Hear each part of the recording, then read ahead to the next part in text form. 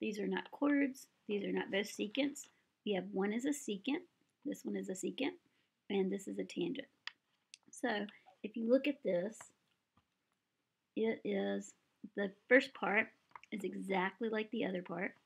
This is, and they do it this way. I do not like it this way. I think it's confusing. I think this part right here is very similar to what we've been doing.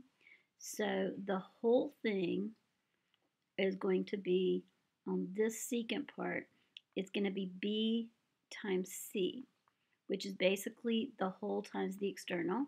And then this time, this side, we don't really have, the whole and the external is like the same thing. So it's basically BC times A squared, if you put those numbers in there. But what I also say is this side right here is a tangent. So you can say we equals TT. Or you can check, you, some people like to do wet, if you just kind of like write the word wet and, and then do, do the T's twice.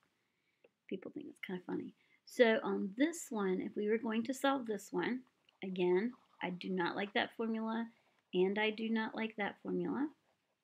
So we're basically going to use um, we equals TT, otherwise known as wet.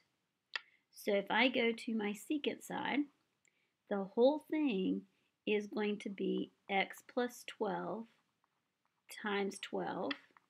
And then on this side, we basically just do 24 times 24, or we can also write that as 24 squared, which is what they did right there.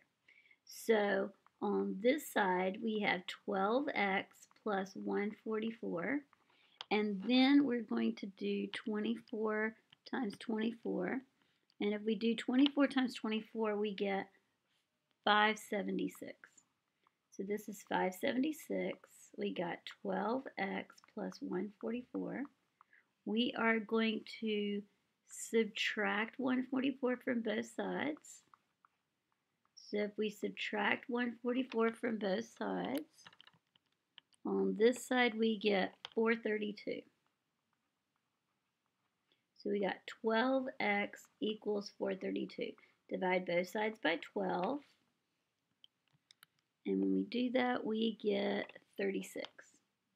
So x is equal to 36. So if you multiply 12 times 36, you get 432. So x is equal to 36.